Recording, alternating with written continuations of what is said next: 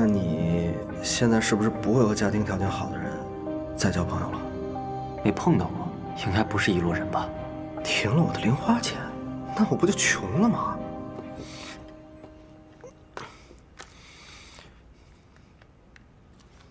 喂，哎，房产中介吗？我上次找你租了一套房，我想转租。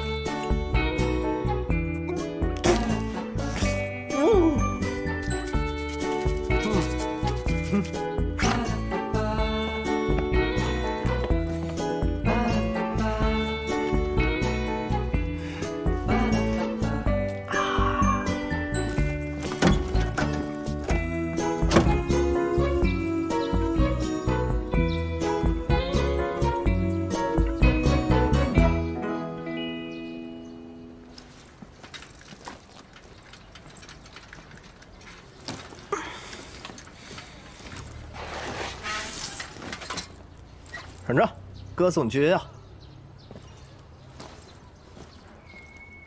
哎，我说你有车不坐，干嘛走着呀？学校又不远，干嘛骑车？我这不是怕那群流氓追过来，你跑不过他们吗？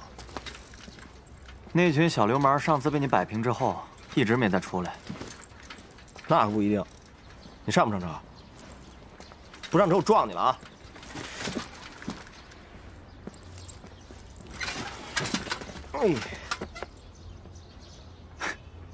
有病！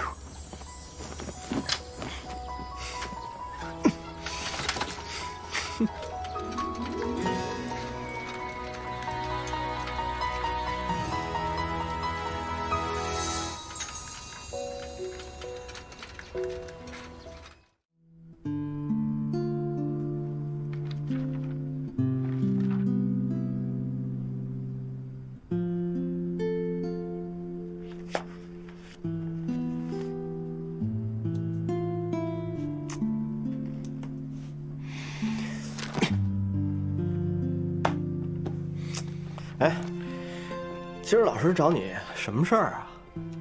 我妈的事。你妈？你妈来找你了？不是她，是她现任丈夫。他来找你干什么呀？他来当我妈的说客，让我转学，去更好的学校。你答应了？废话，我能答应吗？本来就看他不爽，尤其他那个咄咄逼人的架势，好像所有人都是他的下属，都得听他的。嘿，跟我爸一个德行。他拿我跟他儿子做对比，显得我特没见识。他儿子那么优秀，你让他好好培养自己儿子呗，老惦记你干什么呀？要我说，他儿子肯定废物一个，不然不可能老想着你。我心里不舒服。哎，我跟你说，你心里不痛快，就咒他儿子，咒他儿子出门就被砸，啊！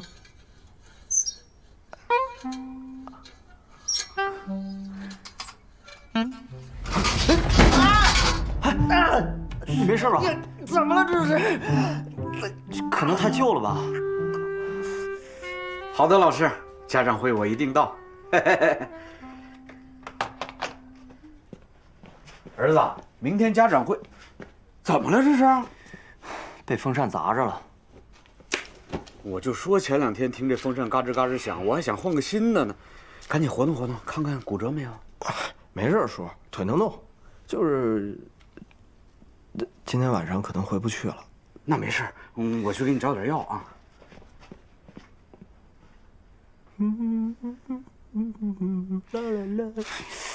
ah!